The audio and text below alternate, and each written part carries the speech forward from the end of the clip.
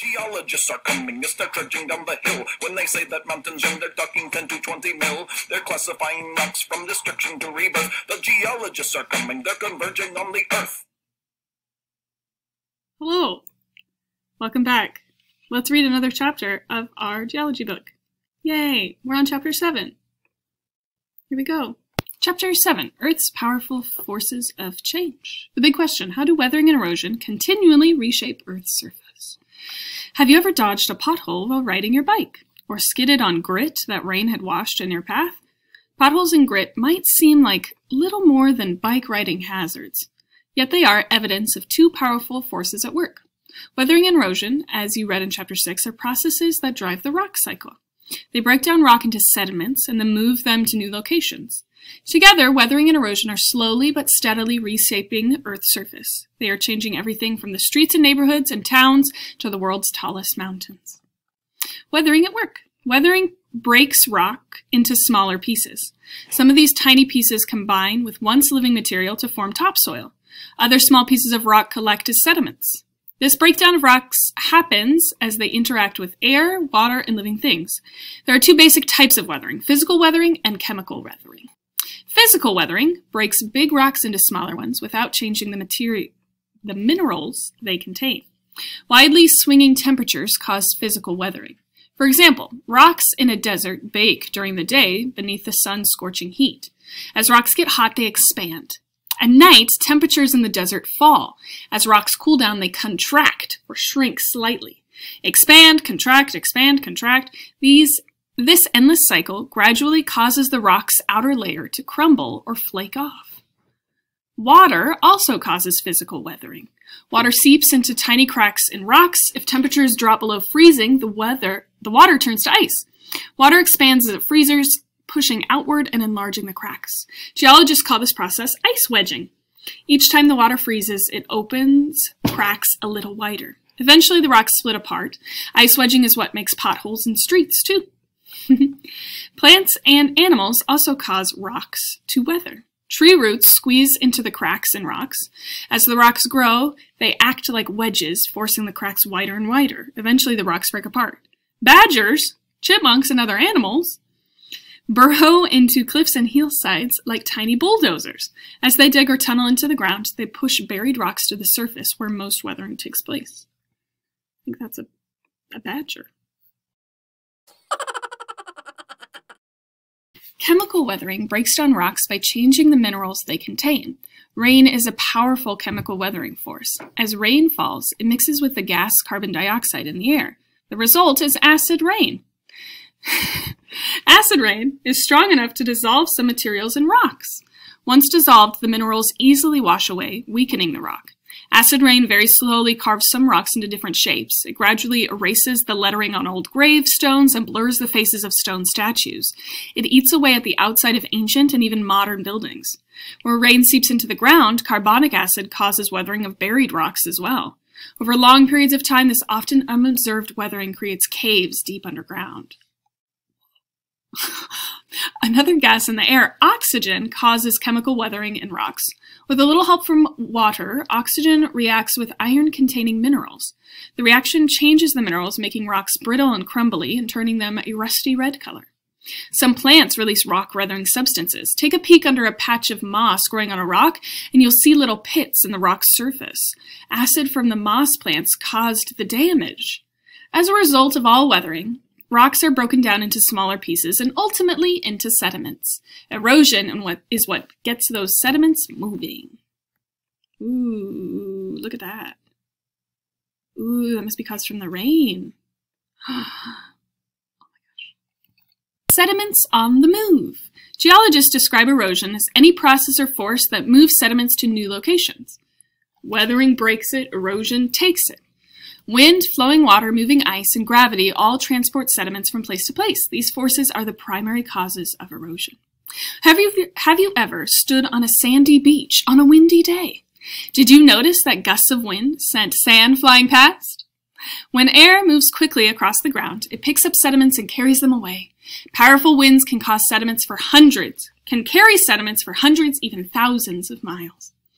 On the windy beach, did your skin sting as it was struck by blowing sand? Wind carrying sediments can act like a sand blasting machine to wear away rocks in its path. When wind driven sand hits rock, it chips off tiny pieces. The wind then whisks the pieces away. Over time, this form of weathering can polish rock surfaces or pepper them with tiny holes. It can shape huge blocks of rocks into delicate stone arches and lofty towers. Weathering and wind erosion can also leave massive boulders balanced on slim supports. Have you ever seen wind carved rocks like this? I've been there. Is it Arches National Park in Utah? As wind slows down, the sediments it carries fall back to Earth. They are deposited on land or in water. Where winds deposit sediments regularly, layers of sediment slowly build up. Over time, those layers may be transformed into sedimentary rock. I stood right there. That's cool. Yay. Heading downstream. Like wind, water also causes erosion. The tug of gravity pulls sediments out of wind and water. Flowing water picks up sediments and carries them downhill to new location. A summer rain can wash fine sediments onto sidewalks and into gutters. A rushing mountain stream can sweep small stones into a valley. A flooded river can surge along with enough force to move large rocks many miles downstream. As moving water slows, sediments stick to the bottom of the river or stream. The heaviest sediments are the first to be deposited. The finest sediments are the last. Layers of sediment accumulate at the mouths of rivers and on the bottoms of lakes. Vast layers of sediment are also deposited on the ocean floor over long periods of time. Like wind deposited sediments, those laid down by water may someday be transformed into sedimentary rock. But water doesn't have to be in its liquid state to erode sediments. Glaciers are enormous masses of ice found in polar regions and near the tops of tall mountains. Although ice is solid, glaciers do move. They flow very slowly downhill. As countless tons of ice creep over land or down mountainsides, they push, drag, and carry eroded sediments along. Moving glaciers also create sediments as they grind against rocks below, beside or below them. Glaciers are such powerful forces they can carve huge U-shaped valleys through mountain ranges. When glaciers melt, they deposit the sediments they have been carrying. About 20,000 years ago, glaciers covered large parts of North America, Europe, and Asia. As the climate warmed, the glaciers melted and retreated northward. They left behind massive deposits of sand, gravel, and silt, along with collections of rocks and boulders. You can still see these deposits as hills, mounds, and ridges on the landscape. Next page. Weathering, erosion, and time. Weathering and erosion work slowly. It takes a long time to see their effects. Given time, these processes reshape Earth's surface on a scale so large it's almost impossible to grasp. For example, the Grand Canyon in the southwestern U United States did not exist when dinosaurs roamed North America. Wind, rain, and the Colorado River slowly created it.